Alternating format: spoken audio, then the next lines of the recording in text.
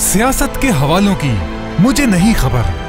रहनुमाओं की बातों की मुझे नहीं फ़िक्र। आदाद शुमार के इस गोरख धंधे से क्या बदल सकेंगे मेरे दिन और रात? क्या इन खातों और हिसाबों से मिल सकेगा खुशहाली का साथ? मैं हूँ पाकिस्तान का आम आदमी। ढूंढ रहा हूँ फिर इस साल तरक्की बहबूद से भरी इस नए बजट की चाल।